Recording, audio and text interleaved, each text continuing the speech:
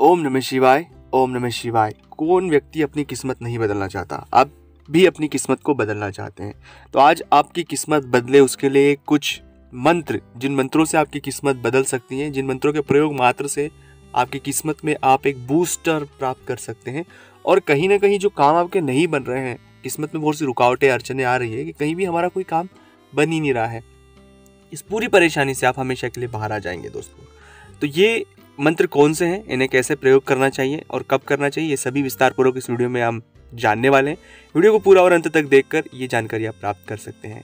अगर अभी तक आपने चैनल को सब्सक्राइब नहीं किया है तो प्लीज़ चैनल को सब्सक्राइब करें, कमेंट्स में भोलेनाथ का नाम लिखें। अगर ये पूरा देखने के बाद वीडियो आपको अच्छा लगता है, तभी वीडियो को चैनल को सब्सक्राइब करना। और अगर अपनी कुंडली का विश्लेषण आप हमसे करवाना चाहते हैं तो स्क्रीन पर नंबर चल रहे आप व्हाट्सएप पर अपॉइंटमेंट लेकर हमसे बात कर सकते हैं। उसका फ़ीस, उसका शुल्क लागू है दोस्तों। जन्म तारीख, जन्म समय, जन्म स्थान पता होना अनिवार्य है आपके पास। सबसे पहला मंत्र है कि हमें जीवन में दो ही ग्रह जो सबसे ज़्यादा डिस्टर्ब करते हैं। सबसे पहला है शनि और दूसरा है राहु। राहु की दशा, अंतरदशा, महादशा या शनि की दशा, अंतरदशा, ढैया साढ़े साथी शनि किसी भी जगह बैठा हो, कर्म भाव में बैठा हो या लग्न में बैठा हो और नेगेटिव हो तो वो बहुत परेशान करता है। तो इसके लिए सबसे पहले आप अगर शनि को साधना चाहते हैं तो आपको नियमित प्रतिदिन बजरंग बाण का पाठ करना चाहिए।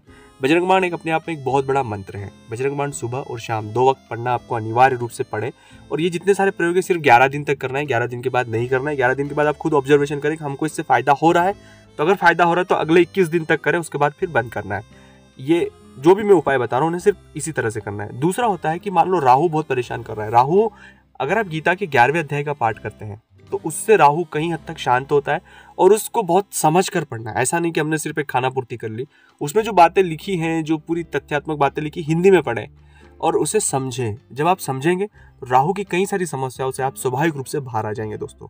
अब तीसरी बात कि मान लीजिए आप ये दोनों उपाय नहीं कर सकते किसी कारणवश तो केवल और केवल नमः शिवाय का जाप करें। नमः शिवाय नमः शिवाय नमः शिवाय।